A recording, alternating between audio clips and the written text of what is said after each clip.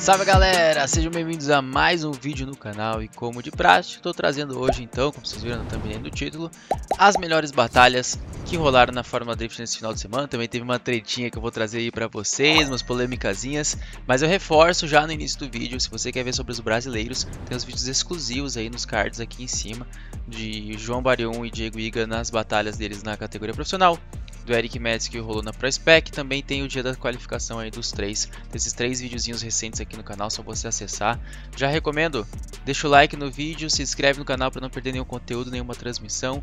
E de quebra você vai estar tá, assim ajudando e muito aí no crescimento do canal. Estamos quase chegando aos 20 mil inscritos e o teu inscrever-se ajuda muito, assim como o likezão, que faz com que o vídeo chegue a mais pessoas. Beleza? Então, passados os recados, sem mais enrolação, bora pro vídeo. Só para começar, né, a gente vai trazer então a primeira batalha que é o Asbo contra o Gushi para falar sobre essas mudanças no campeonato nas pontuações, né? Que começou o dia e a competição com o Frederic Asbo em primeiro, Chelsea de novo em segundo, Matt Field em terceiro, James Dean na quarta colocação e Christopher Berg em quinto. Só que nessa batalha rolou um negócio complicado, né? Tá até 2x sim a batalhazinha, até pra gente só passar por aqui mesmo. É, o Asbo vinha como peão da Qualify, vinha fazendo um bom trabalho, era o favorito do campeonato. Nessa hora, a pista estava meio seca, meio molhada com os pontos, porque tinha chovido no intervalo. Não, é, do treino para as batalhas tinha dado uma chovidinha. E quase que choveu na etapa, mas por sorte não choveu, mesmo com a umidade bem alta. E aí teve a primeira passada, tudo ok, o Asbo amassando de certa forma o Gush, tendo umas aceleradas estranhas em alguns pontos ali, né? Uma volta mais inconsistente, provavelmente por conta dessas condições da pista.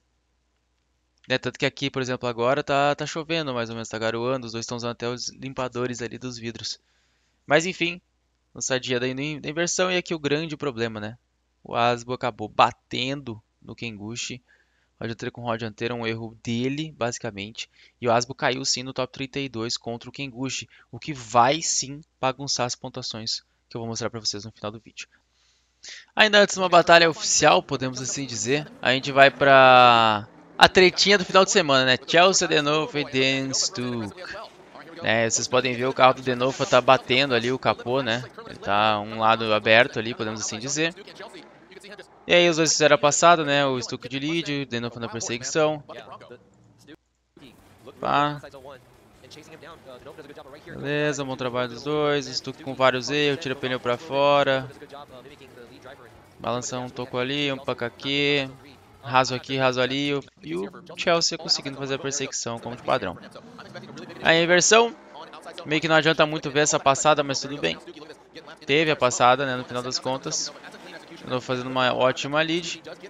E o Stuck, de certa forma, aí acabou é, não tendo uma perseguição tão boa quanto do Chelsea, né? Cortando linha em vários pontos e ângulo para poder manter o ritmo, para poder se manter presente. E aí veio o momentum de treta né? Como eu comentei, o capuzinho do Chelsea estava abrindo barra batendo, né? Ali como vocês viram. E aí, o time do Stuck chamou um protesto para cima do Denovo, que foi analisado no intervalo do top 32 para o top 16.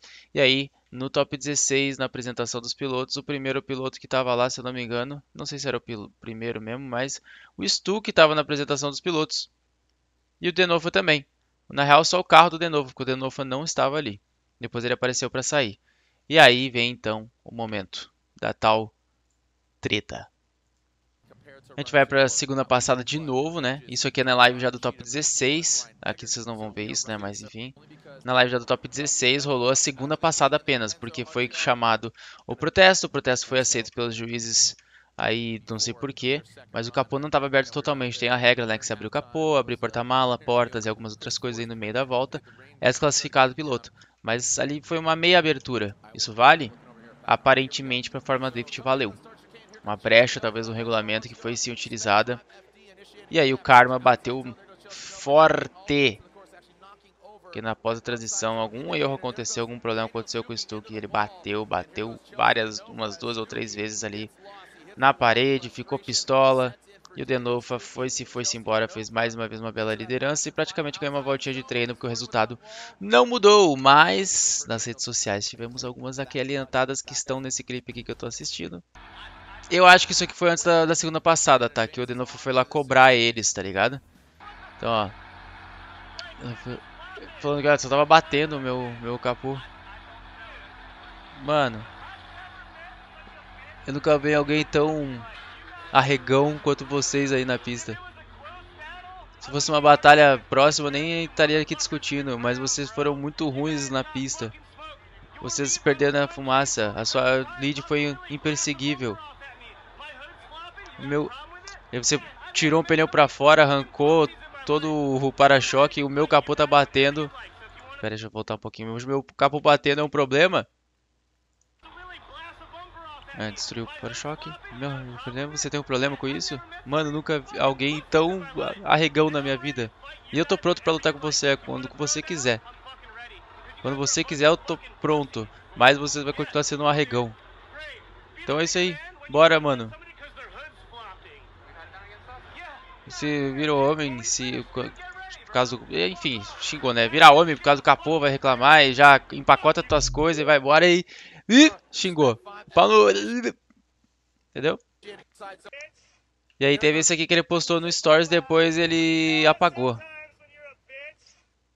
Sabe quando algumas vezes você é um, sei lá, um sacana?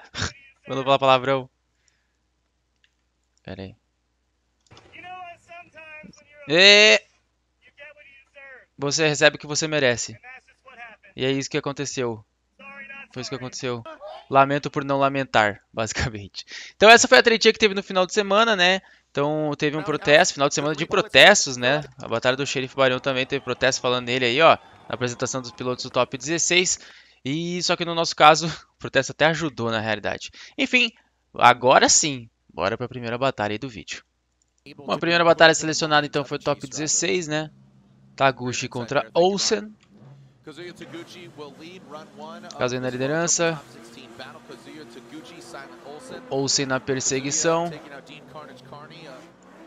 E vamos ver aí a passada então. A balançada. A balançadinha do Kazuya, uma balançada junto do Simon. Simon Olsen ganhou bastante destaque nessa etapa, seu contra o segundo lugar. Vem buscando o limite da pista ali o, o Kazuya, não 100%, mas travado no ângulo. E o Simon por ali, dando umas agressivadas um pouquinho no final da caixa. A transição final, dá uma balançadinha assim aqui o Kazuya Taguchi. E o Olsen ficou presente ali do início ao fim. Ele que era novato, podemos assim dizer, consegue já brigar de frente a frente com os caras aí também, né? No ano passado ele andou com o Supra 90, agora com o S15, mas já se acostumou com o chassi aparentemente. A gente vai vendo os dois travadinhos no ângulo. Olha que liderança do Taguchi também. Dando um pouquinho os freios de pé ali, pá, pra manter o ângulo, transição. É aqui, como eu falei, né, o Kazuya deu uma erradinha de leve. E o Simon foi juntinho no erro, conseguiu fazer uma bela perseguição. Aí na versão lançada, uma bela lançada do Simon também, lambe o muro, mas depois acaba ficando mais rápido que o Kazuya. O Kazuya se atrapalha um pouco pós-transição. Às vezes buscando o limite da pista agora na grande segunda zona externa. Passa no enclipe, transição final, Kazuya passa lambendo ali na última transição para cima do Simon. E finaliza os dois aí uma bela batalha. do nada Forsberg arrumando o carro. Então aí a lançada que eu comentei, né? O Simon foi 100%, mas fez um belo trabalho. Aqui é a segunda zona. Taguchi cortando um pouquinho mais, até um pouquinho de ângulo ali para se manter na porta do Simon, que faz um belo trabalho. Dois em clipe, a transição bem casadinha por parte do Kazuya na mímica. E os dois finalizam aí uma ótima batalha mesmo. Vamos ver, hein? Eu nem lembro qual é a decisão. Eu sei que o Simon ficou em segundo, então o Simon vai ganhar a batalha. Mas será que essa aqui é uma de empate? Pelo jeito foi, hein? Side by side. A gente observar bem aí os momentos para ver as, as proximidades, ó. Muito próximo. Eu falando, se você está em casa julgando, que, o que você está olhando, né? Qual a diferença que você está procurando, né? Tem uma certa diferença no finalzinho da lead aí, realmente, né? Kazuya errou aqui mais do que o Simon, né? Que pregou muito bem essa última caixa aqui. Então acho que vai dar vitória sim. Direto pro Simon. E é isso aí mesmo. Um detalhe, né? Uma caixa, a última caixa de diferença como líder fez a diferença ali para que o Simon levasse a vitória. Muita gente talvez chamaria no empate, mas essa aqui foi a vitória do Simon Olsen. Bora para a próxima batalha. E bora que bora para a próxima batalha, então, que é Forsberg contra Rom Charpintia. Lançar Jones. A boa lançada do Forsberg no limite da pista. Talvez dropou um pneu ali, não sei. Vem para a transição. Rom um pouquinho mais tranquilo ali na transição. Tira um pneuzinho para fora ali o Forsberg na segunda zona externa. O Rome dá uma aproximada com um pouco menos de ângulo, dá uma corrigida, fica um pouquinho para trás antes da transição final. E faz um bom trabalho ali o Forsberg para finalizar a pista como líder. No geral, o Rome sem muita agressividade aqui, né? Transição meio lenta ali, meio parceladinha até.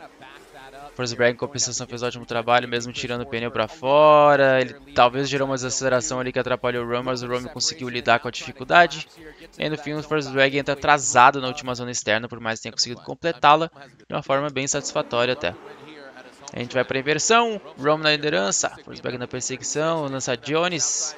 Não foi tão profundo na lançada aí o Rum como o Forsberg. Vem para a transição agora para a segunda zona externa. Forsberg vem tentando buscar agressividade para cima da porta.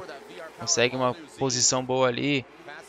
Mas talvez mostrando mais dificuldades para seguir o mesmo ritmo aí que a BMW 36 o Rome. Que faz também um ótimo trabalho na liderança aí. O Rome, uma bela batalha pelos dois pilotos. Representaram demais. Será que vai ter um side by side? Vamos ver se se rola. Sim. Vamos dar uma olhadinha pra gente analisar melhor no side by side, né? Lançado um pouco melhor do Forsberg de lead. Perseguições parecidas. Forsberg com mais dificuldade de manter a proximidade. Rome roubando no ângulo. Uma mímica melhor do Forsberg, se bem que ali na liderança aqui, né? Tirou um pneu Forsberg lá, gerou uma aceleraçãozinha aqui. Pode ter atrapalhado o Rome, então daria até pra ignorar talvez, não sei. Aí a transição, né, afinal, ó. Rome demorando para fazer o ângulo. E no final os dois tiveram a mesma terceira caixa praticamente ali, eu poderia dizer. E teve um empatezinho, mas dois pro Rome. Então realmente provavelmente aquela desaceleração que o Forsberg gerou na liderança saindo da segunda zona externa pode sim ter atrapalhado o Rome. Porque gerou uma aceleração estranha mesmo e o Rome ficou meio perdido por ali. E provavelmente os juízes puniram por causa disso, porque o resto foi muito, muito parecido, muito, muito similar. Por mais que o Forsberg tenha assim lançado melhor. Bora então para a próxima batalha. E bora que bora! Vamos com a batalha Old Bakshis contra Simon Olsen. Vem pra lançada. Se não me engano, já batalha top 8 ou top 16 aí. Tô um pouco perdido. Vem pra transição. Hoje aqui batalhou contra o Diego. Pra quem quiser ver, tem o um vídeo no canal aí também. Faz um bom trabalho na zona externa aqui. Sabendo se coladinho, coladinho na porta, roubando um pouquinho só no ângulo, mas balançando pouco os dois por ali, a transição final. Busca o limite da pista, os dois fazem um belíssimo trabalho aí também. Companheiros de equipe, né?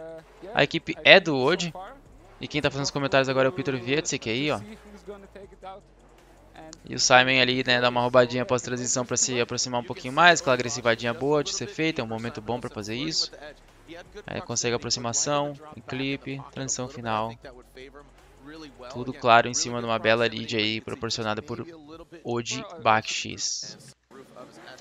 E bora para a inversão então agora, Simon na liderança, vem para lançada, Odi Bakshis na perseguição.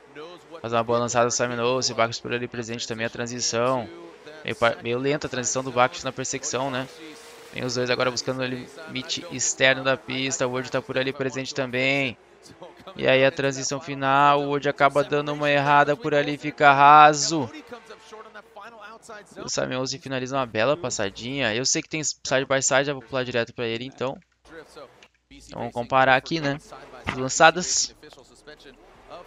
Lançada melhor do Simon como lead. Boa transição, os dois muito parecidos aqui, o Wood com mais proximidade mesmo, colocando na porta, mais pressão. Em clipe, os dois, transição final, e aqui o momento que o Wood acaba errando muito, né? Olha como o Simon vem certinho na mímica e o Wood, transição, fica bem raso, trabalha bastante no ângulo ali para poder se reaproximar. E como a gente já viu até hoje aqui numa decisão, no caso aqui não foi uma decisão, mas teve hoje uma batalha que a gente viu muito próxima também, que teve uma decisão que foi nessa terceira caixa. Mas se eu não me engano, o erro foi daí na liderança, que acabou custando mais caro. Decisão totalmente dividida, Odi e Simon empatam. Mas eu acho que aqui, se fosse para alguém avançar, é que foi isso, né? O Wood errou a última transição lá, ficou um pouquinho errado, mas no overall da pista inteira ele realmente ficou mais próximo. Mas acho que se fosse para passar alguém aqui seria o Simon Olsen. Enfim, foi uma batalha de empate. Depois o Wood acabou cagando numa das transições lá, andou meio reto quase. E aí ele perdeu para o Simon. E aí o Simon avançou. Se isso aqui é top 8, acredito que seja, ou top 16, acho que é top 8 sim. Ele avançou top 8 daí para o top 4. Bora para a próxima batalha. Bora que bora então, batalha Matt Shield contra Rome. Na primeira eles meio que fizeram merda dos dois e empatou. E agora a gente vai então para a decisão. Lançada cedo do field, acaba balançando um tanto. E comete um erro ali na lançada já. O Rome em compensação tá vindo bem próximo. Os dois dão umas balançadinhas na entrada da segunda zona externa. Vem buscando o limite. Vamos dar uma perdida no ângulo ali. Transição final. Boa passada de lead aí do Matt Field. O Rome veio bem também na perseguição, mas teve alguns pontos que ele deu uma ramelada, podemos assim dizer, ó. A lançada foi o ponto complicado do Field, viu? Meio balançando e tal, mas tudo bem. E o Rome cresceu um pouco, teve que tirar um pouco o nariz, uma correção, mas aí ele consegue já se estabilizar. Tira um ângulozinho, vem pro clipe, transição final. A boa passada de lead aí do Matt Field. De fato. Vamos pra inversão, né? Rome com uma certa desvantagem para lançada. A boa lançar a parte do Rome. Field vem bem também ali. Achei até que tirar um pneu. Olha que eu já assisti. É para transição. Segunda zona externa. Vem bem ali no limite da pista ali o Rome. O Field está colado na bota dele. Transição final. Boa transiçãozinha por parte do Field também no, no time, na mímica. E também uma bela lead por parte do Rome, né? Boa lançadinha. É, mas menos correções o Field precisou fazer. Aparentemente ficou o tempo todo mais próximo. No final, o Rome acaba entrando atrasado nessa última caixa, saindo um pouco cedo. Vamos ver se a gente vai ter por algum motivo alguma coisa demais, mas não, não chegou a ter até side by side. Eu achei mesmo que era isso. Matfield leva a vitória, uma lead melhor. As perseguições ele teve menos correções para se manter próximo ali o tempo todo, menos balançadas. E aí o Field avançou para o top 4 contra o Simon Olsen, que é a batalha que a gente vai ver agora. Então, primeira semifinal. Simon Olsen contra Matt Field. É pensado Matt Field como líder. Temos na perseguição, o Field passa muito lambendo ali, dá um tapinha no muro talvez. Transição para segunda zona externa. Ou se dá uma seguradinha, acaba ficando um pouquinho para trás, mas já vem buscando o terreno que ele perdeu. Vem colocando aquela aproximação para cima da porta do Matt Field, colocando pressão. Transição final, olha a transição agressiva que o Simon Olsen faz. Ele é mais rápido na transição que o próprio Field. Ele passa lambendo, mano. Que transiçãozinha final aí do Simon Olsen, hein? Aí, ó. Uh! A transiçãozinha final foi perfeita por parte do Olsen. Hein? Só a primeira transição ele acabou penando um pouquinho, ficou um pouquinho para trás, tirou depois da distância, mas vamos ver agora a inversão, Olsen na liderança, Field na perseguição. Bela lançada do Olsen, transição, Field faz uma boa transição. E o Olsen vem fazendo um bom trabalho nessa segunda zona, hein. Field também tá ali coladinho, coladinho, dando umas balançadinhas, roubando um pouquinho no ângulo, a transição final. Mais lento a colocação de ângulo ali por parte do Field. E o Olsen também acho que não foi tão profundo assim na última caixa, hein? Tem que talvez teve um contato dianteiro com dianteiro ali, mas acho que não chegou a influenciar não. Nossa, que batalha, hein? Eles andaram muito, muito, muito. Side by side, né? Side Jones.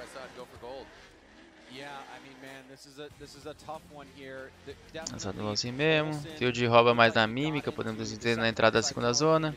Faz muitas coisas parecidas.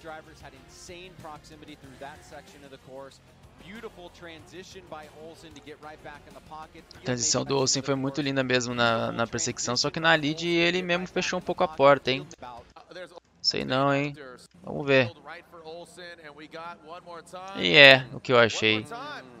Lead do Field foi superior, perseguição do Olsen foi superior. Teve alguns pontos que um foi superior do que o outro, né? Tipo a lançada do Olsen que foi melhor do que a do Field.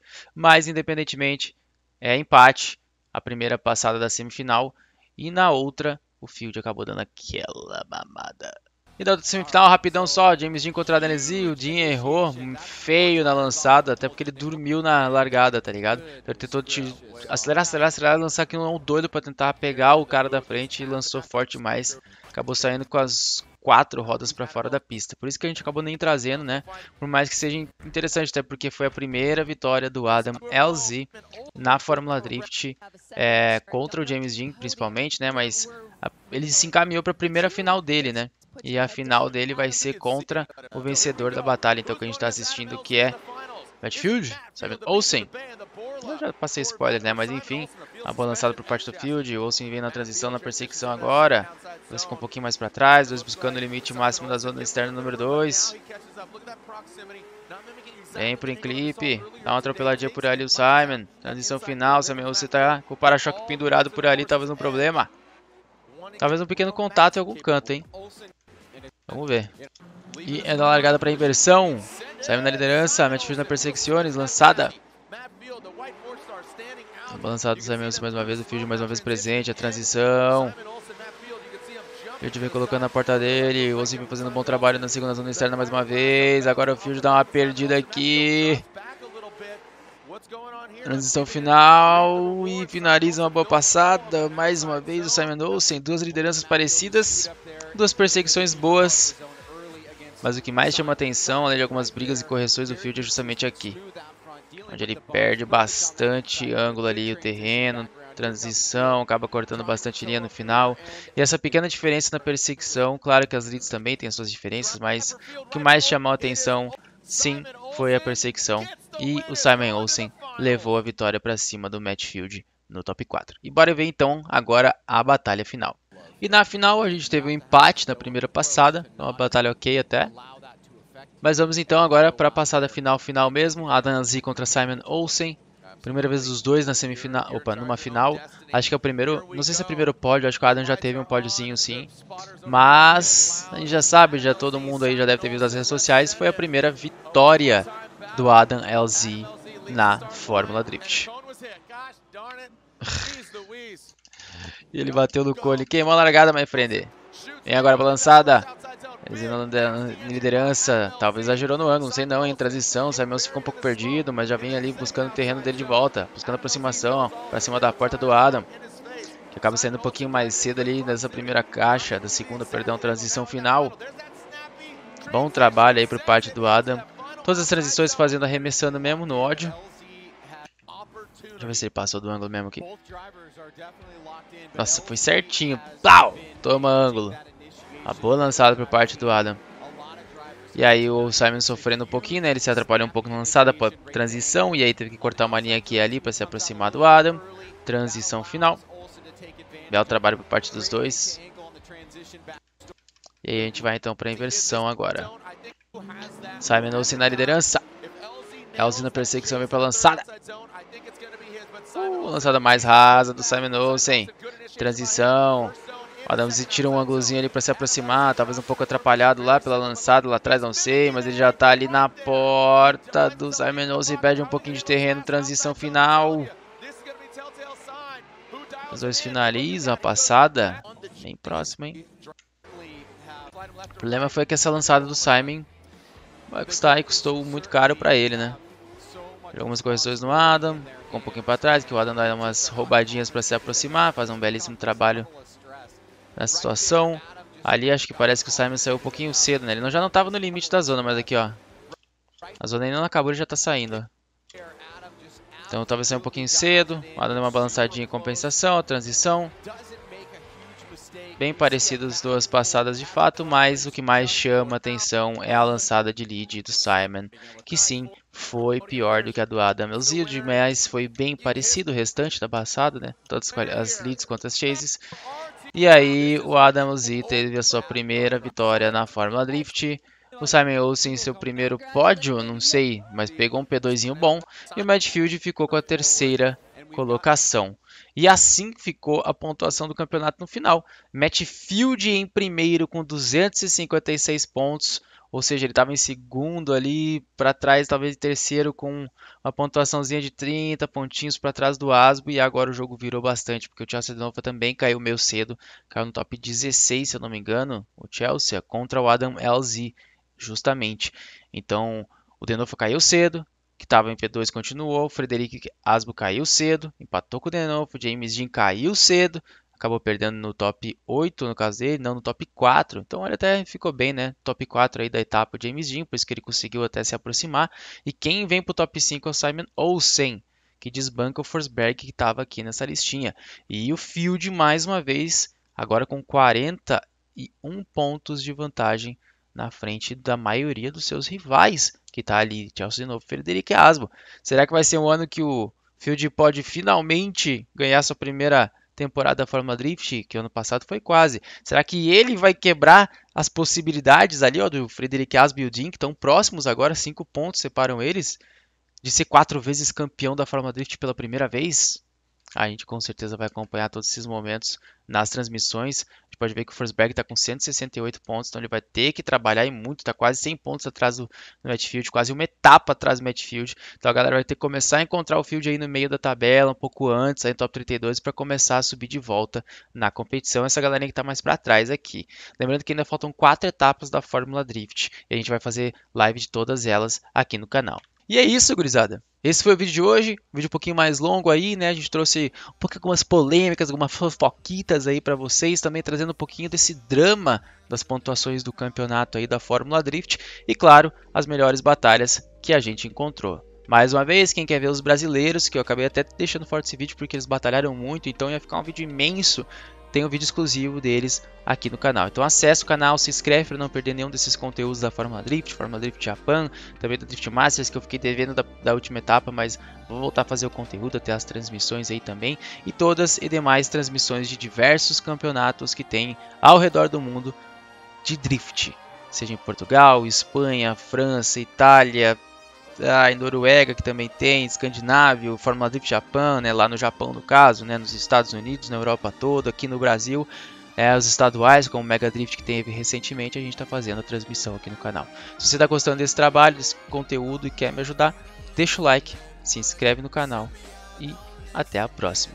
Eu sou o Recamate, vou ficando por aqui, valeu.